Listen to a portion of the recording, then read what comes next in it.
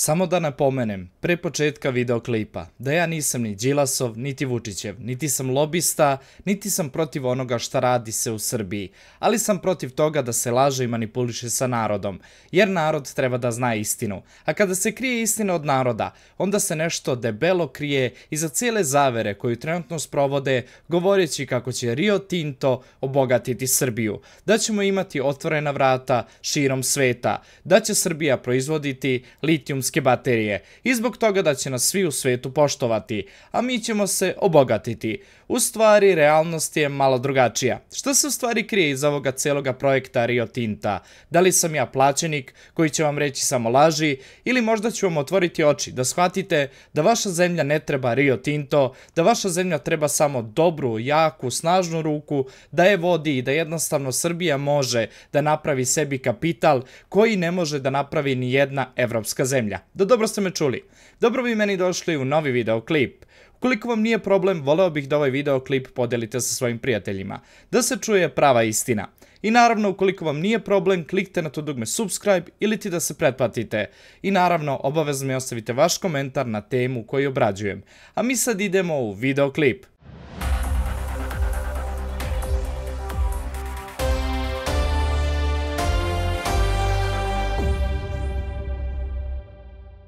Trenutno se mnogo u Srbiji špekuliše oko samog dolaska Rio Tinta, jadra, rudarenje litijuma i da ćemo mi postati bogata nacija na Balkanu. Ura! Napako nešto u Srbiji da se uradi gdje ćemo mi biti milioneri. Međutim, realnost je malo drugačija. Moram da vas razočaram. Rio Tinto, gde god da je bio, ostavio iza sebe siromaštvo, bedu, propast, uništene reke, šume, uništena zemljišta, otišao je korak dalje pa je uspeo čak i da uništi ljudske živote. I jednostavno ljudi nemaju nikakve mogućnosti da žive u područjima gde je rudario se litijum od strane Rio Tinta.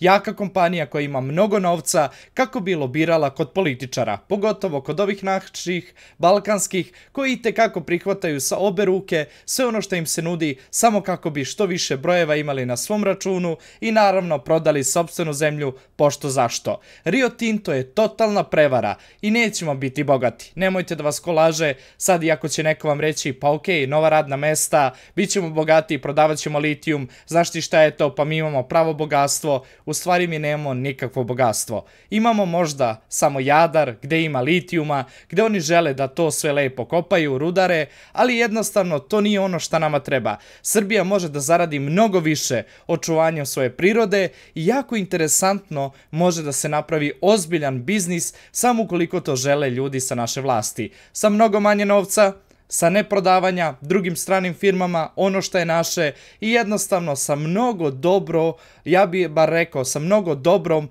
podlogom za sve ono što Srbija može da uradi. Hajdemo od početka. Iako vas lažu da ćemo zaraditi 30 milijardi godišnje od prodaje litijuma, moram vam reći da Srbija može trenutno da zarađuje 200 milijardi eura godišnje samo ukoliko to stvarno vlast želi i ukoliko želi da podrži projekte koji naši poljoprivrednici rade. Do dobro ste me čuli, poljoprivreda u Srbiji je uništena naše zemljište je najplodnije. Moram vam reći da Holandija koja obrađuje godišnje svoje zemljište negde oko 12,7 odsto samo zaradi 50 milijardi eura od prodaje ili ti izvoza svega onoga što oni imaju. Srbija ima tri puta više samoga zemljišta nego što posjeduje Holandija. Zamislite da bar obrađujemo 40% toga zemljišta koje posjedujemo. Koliko bi bogatstvo mi imali? Pomnožite to dobro. Ako Holandija jedna sa 12,7% uspe da napravi 50 milijardi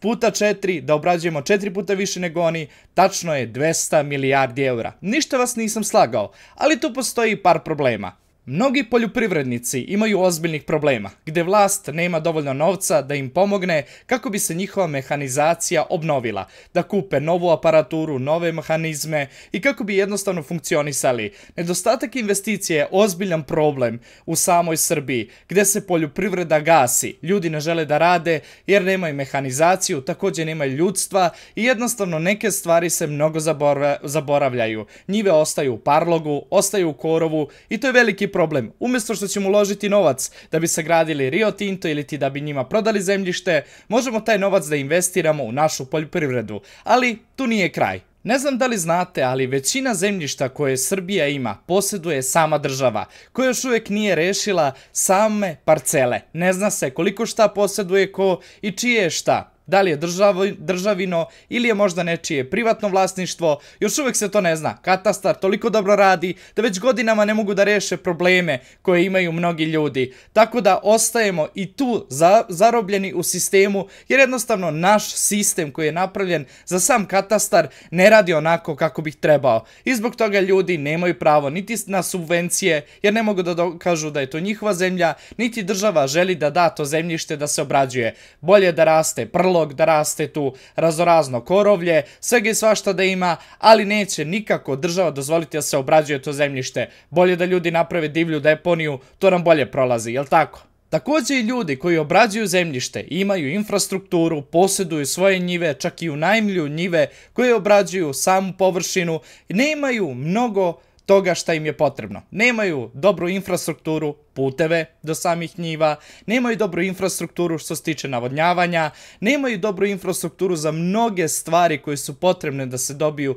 od same države, jer država jednostavno ne želi da ulaže u njih, ne želi da ulaže u poljoprivredu, bolje je da mi uvozimo paradajz iz Albanije, bolje je da uvozimo, na primjer, meso iz Turske, ali nećemo da podržimo našeg seljaka, našu poljoprivredu koja može da se raste koja može da se razvije i jednostavno da hranimo pola Evrope, možda i više, da izvozimo i da zarađujemo ozbiljne pare, očuvat ćemo ekologiju, očuvat ćemo našu zemlju, radit ćemo naše zemljište, obrađivat ćemo sve više i više površine, zemlja će biti čistija i naravno sačuvat ćemo ono najbitnije, a to je dostojanstvo, gde nećemo trovati naše građane, naše ljude, gde će jesti svoj produkt, i svoje bašte, mogu tako slobodno reći, marketi će imati odakle da kupuju povrće, voće i svi će biti srećni. Imaćemo domaću privredu koja i tekako debelo raste, ali to nije koncept toga svega. Izgleda je bolje uložiti u neki Rio Tinto, rudariti, trovati okolinu i govoriti kako će ljudi sve više zarađivati i imati nova radna mesta. Ukoliko bi podržali poljoprivredu i poljoprivrednicima treba pomoć, imali bi mnogo radnih mesta, ali naravno to država zanemaruje i govori vam kako je Rio Tinto jedina opcija. Također zbog loših političkih odluka ljudi nemaju niti dobre subvencije, niti imaju pomoć što se tiče samoj potrošnje energenata, dizela, svega ostaloga, šta im je potrebno za obrađivanje zemljišta, također nemaju subvencije da bi kupovali novu mehanizaciju, također nemaju subvencije da bi svoju infrastrukturu proširili, da bi išli u digitalizaciju, tehnologiju noviju i tako dalje i tako dalje. Jedan od najvećih problema jeste i to da ti seljaci kada proizvedu gotov produkt oni nemaju kome da ga izvedu, zato, izvezu, zato što naša država u Srbiji ima jako loše odnose sa Evropskom unijom, Tržište je zatvoreno, delimično i nema mogućnost da prodamo produkte koje mi imamo. Pa onda vidite gdje ljudi bacaju maline, gdje prosipaju mleko, gdje isipaju paradajz u reku, jer jednostavno ne žele da ga prodaju za džabaka, da tako kažem da se vulgarno izrazim, da jednostavno sami sebe ucenjuju, znaju koliko su truda i znoja, znali, dali za to sve i jednostavno ne žele onda daju pošto zašto. Država je ograničila sa svojim geopolitičkim odlukama i lošom politikom u svetu, ograničila je upravo izvoz poljoprivrednicima i zatvorila tržište na mnoga, mnogo reći, na mnoge države i jednostavno uništila poljoprivredu i sa vanjske strane ili ti iz inostranstva. Srbija trenutno obrađuje kroz poljoprivredu 3,5 miliona hektara, koji godišnje su 10% od ukupnog BDP-a koji Srbija napravi, ili ti tačnije 3,5 milijardi eura, što znači kada bi se investiralo u samu poljoprivredu i kada bi se investiralo u infrastrukturu, u subvenciju, subvencije, pomoć poljoprivrednicima, kada bi se obrađivalo mnogo više zemlje, trenutno se obrađuje samo 7% naše zemlje, imali bi ogroman skok BDP-a, imali bi neverovatnu zaradu, imali bi svoju ekologiju, imali bi svoju životnu sredinu, bez uništavanja, bez rudarenja, bez svega ovoga što rade trenutno politički lobisti, kako bi Rio Tinto doveli u Srbiju, omogućili Evropi da profitira, a vi ćete sirotinjo da radite za platu 700 do 1000 eura i govoriti kako su nova radna mesta bitna i kako imate sada odakle da prehranjujete porodicu. A kada budete otišli da posadite baštu i da uberete paradajz gde se nalazi u blizini Jadra, imat ćete otrovne čestice sa kojim će vaša deca da se hrane ili ti da uzimaju te preparate i da doživite onda i moždane i srčane udare i da imate problema sa karcinomom i svašta nešto. To vam upravo vaša država debelo preporučuje i naravno lobiraju kako bi Rio Tinto došao u Srbiju. Sve ove teme i stvari koje se dešavaju, ovi slučajni, da kažem, napadi i ovakve stvari su upravo odlačenje cele ljudske pažnje od onoga šta se krije u pozadini i šta u stvari oni rade. Neće biti nikakve volje naroda